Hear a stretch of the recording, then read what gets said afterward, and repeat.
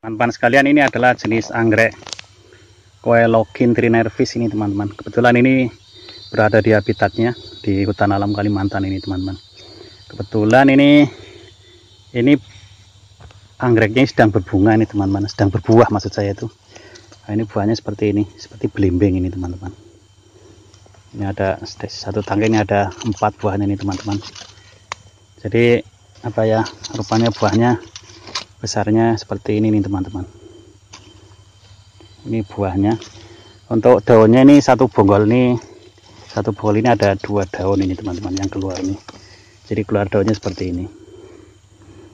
Ya seperti ini daun-daunnya. Dan ini daun yang masih muda sangat segar ini teman-teman. Daunnya berwarna hijau dan sangat halus ini teman-teman. Ini adalah jenis anggrek Coelogin trinervis